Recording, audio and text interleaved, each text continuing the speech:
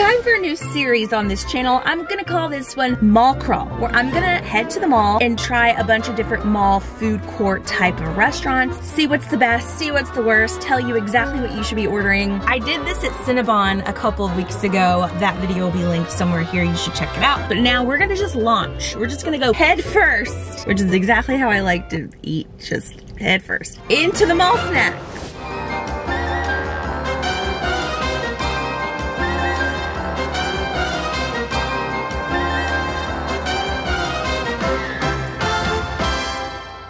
So today I hit up my local Auntie Anne's, or I don't know, what do we call it? Auntie Anne's? Auntie Anne's? I feel like I'm having some sort of medical condition happening to me right now. I've never eaten here before. So we're going big, big, big.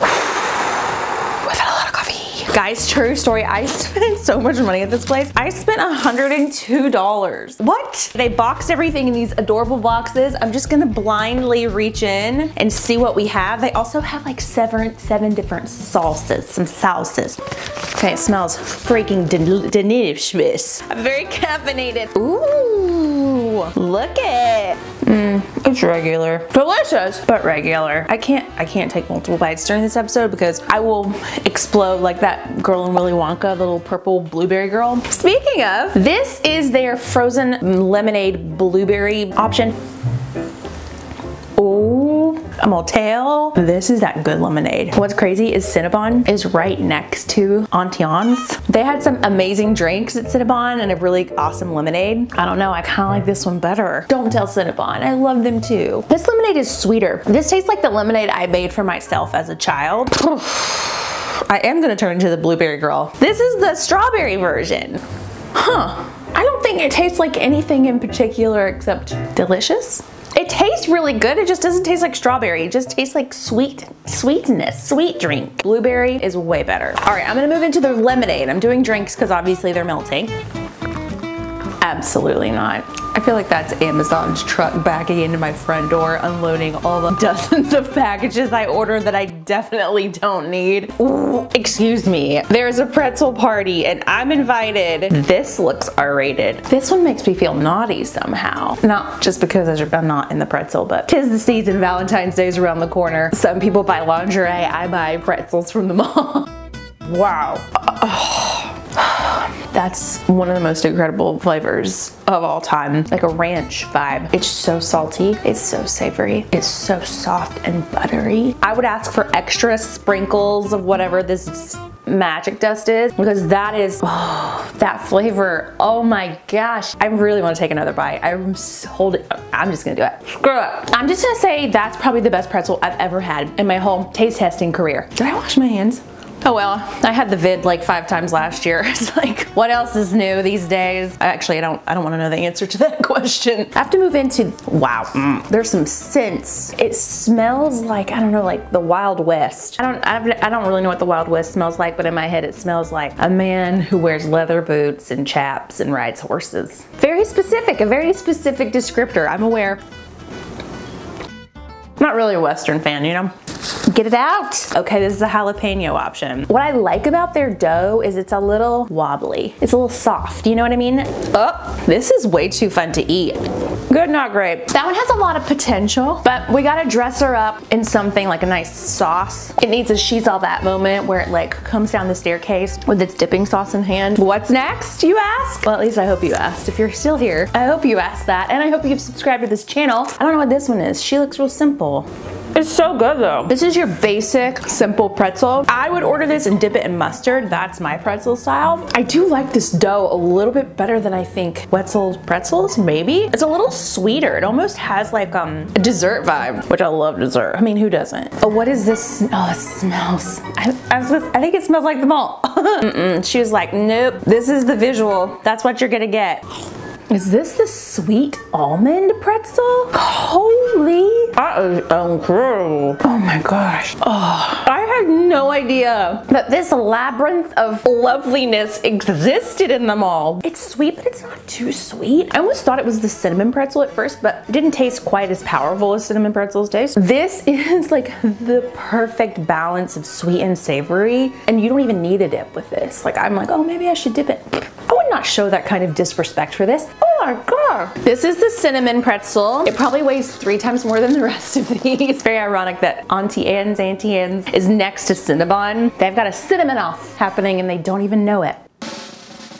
I mean, it is not bad. Somebody better call Cinnabon and tell them Auntie Anne's next door is coming for them. They haven't even know, they have no idea. This is delicious. It is kind of like, almost like a churro vibe. It has that crunch on the outside, but that soft, cakey texture on the inside. I do feel like Cinnabon's, which churro was a little more dense. This is more fluffy. Oh my gosh, this is a box of dogs. We got dogs, and it's not just my disgusting toes that look like they've gone through the garbage disposal. I mean tasty dogs. I'm not gonna lie, hot dogs, I, I don't like hot dogs. They're triggering for me. I used to eat them like a monster when I was a child. I would take the hot dog, peel the skin off, and eat the whole skin off of the hot dog. And then I'd nibble on that spongy, slimy center until it was all gone. And I don't know how I didn't grow up to be someone who's in jail. This kind of feels a little Fear Factor to me. Do you guys remember that show? I can't say I didn't like it. I can understand how someone would like that. I can. I can understand it. If you don't think about it, it's an enjoyable experience. Of all the dogs wrapped in bread with jalapenos and cheese, this one's gotta be the best one. This is just the regular dog with the, this beautiful pretzel casing. I mean, I get it. It tastes good. Has that smoked mystery meat taste. Let's move on to the regular cheese option. Pretty, as pretty as a schlongy dog can be. Mm -hmm. Again, if you like a dog, I feel like this has got these are gotta be the best ones. This is like a pizza jalapeno pizza pretzel. Like my mind's like blown at the thought. It's gonna be hard to get everything in one bite, but I, I believe in myself. I've done harder things. this one visually is the best looking one of the bunch. I've never seen a Roni I didn't like. Hmm, it's good. It's okay. Again, I've said it once before and I'll say it again. If there's ever a pizza thing in the world, nine times out of 10, it's never gonna be as good as DiGiorno. Not sponsored. So the bar's really high for me. On a scale of like deliciousness, I feel like that's probably a, a four out of 10. I'm not gonna choose it. But what I am gonna choose, I'm gonna tell you in just a second. oh, this is just the pizza without the jalapenos. Once you have jalapenos on a pizza, you can't not have jalapenos on the pizza. It's like everything tastes wrong after that. Auntie Anne's has a ton of different sauces. They're kind of pricey. They're like $2 a piece. They also have my favorite honey mustard of all time, Ken's. I did a whole video exploring all the honey mustards. They have a cheese dip. And to taste test all the sauces, I got just some regular pretzel bites. I didn't want to taint the flavor with any other flavored thing because, you know, sometimes flavors compete and they don't get along and they don't support each other. All right, I'm gonna start with Ken's honey mustard. I already know I'm gonna love this, but on a pretzel, maybe not. I can't decide. This is literally my favorite honey mustard, but it does seem like it might be too sweet for this. Let's give it a shot. No way. Ugh, ugh, ugh. It was terrible. And before I knew it was terrible, it was too late. It was already in my mouth. I had to swallow it. It was, oh. Let's try the cheese dip. I feel like cheese dips are very, very important to pretzel places. It looks a little coagulated, a little solid, you know? I kind of wanted it to be a little goopier, smushier. Oh, it's a little smushy. Okay, I take it back. I take it back. Mmm, so good. But it kind of tastes like um, Cheez Whiz, which I'm not mad at. I love, I used to eat, eat it by the canful. Me and my Beady Weedies and my Cheez Whiz. It's really salty, which I like. Next, let's try the sweet glaze dip. Because it's, it's sweet, I feel like it's probably really good on like a dessert pretzel. Ooh, kind of reminds me of like a cinnamon roll, like a Pillsbury cinnamon roll glaze. Oh, let's try. Oh my gosh. Oh wow. Oh wow.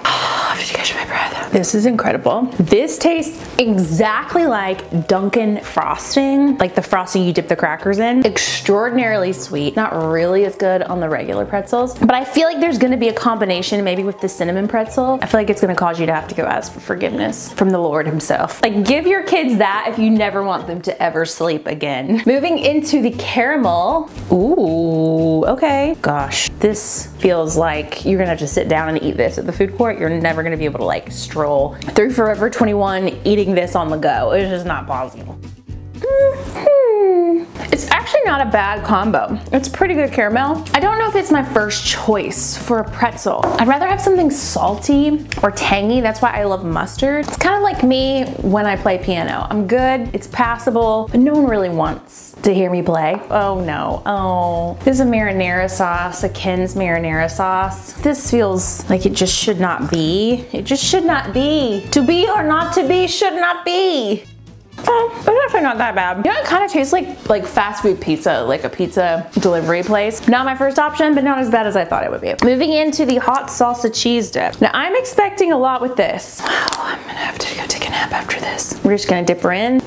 Really salty. Salty, so salty. Oh, it's like getting hit in the face with a wave. It's good. It's hard to say it's not good. It has like a nice jalapeno flavor. And if you love salt, you might want to go check with your doctor first. If you love it, I think it would taste delicious. Whether it would make your organs shrivel up, unknown. This is cream cheese. I feel like they gave it to me, so it's worth a shot. I don't think I paid for this, but that'll just make it taste even better.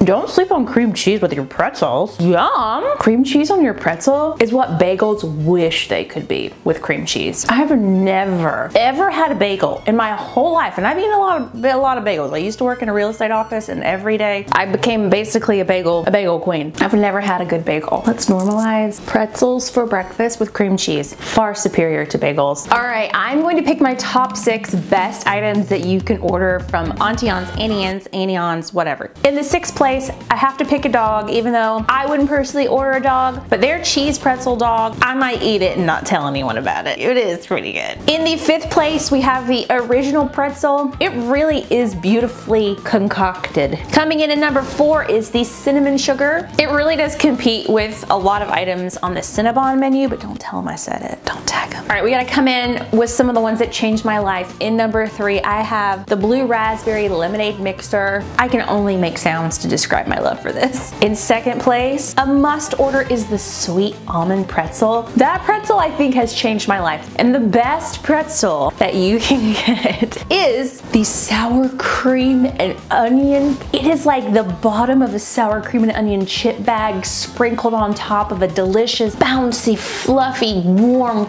salty pretzel. It's just the most romantic thing you could ever buy for someone. Guys, what do you think about this series? I'm your testy bestie for the resty, and I'm open to more mall suggestions. Let me know your favorite place to eat at the mall, and go ahead and subscribe to this channel if you're here, and pray for me, because I am going to go to the bathroom and lay down immediately. If you never hear from me again, you'll know it was worth it.